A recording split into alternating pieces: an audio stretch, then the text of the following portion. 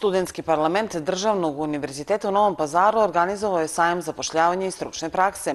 Manifestacija je privukla pažnju i poslodavaca, ali i studenta. Ova manifestacija treba da postane tradicionalna. Studenski parlament Državnog univerziteta u Novom pazaru organizovao je sajam zapošljavanja i stručne prakse. Manifestacija je privukla pažnju i poslodavaca i studenta. Ova manifestacija treba da postane tradicionalna.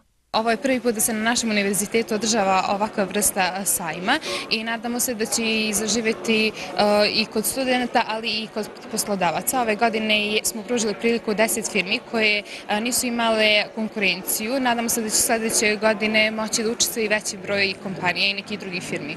Nas je najviše privuklo to što vi imate e, studijski program farmacije i eto, ovaj, hteli smo da vas posjetimo i da da vam tako reći ponudimo za vaše buduće farmaceute i možda trenutne farmaceutske tehničare koji imaju obavljen staž i licencu ovaj, nakon završene medicinske škole da eto, mogu da dođu kod nas na, na praksu ili da nakon završetka studija ovaj, potraže posao? Pa trenutno, laboratorijski tehničari, medicinske sestre opšte prakse, a, bilo bi dobro i lekari, alergolozi, hirurzi, sve vrste, znači nudimo radiologiju, hematologiju.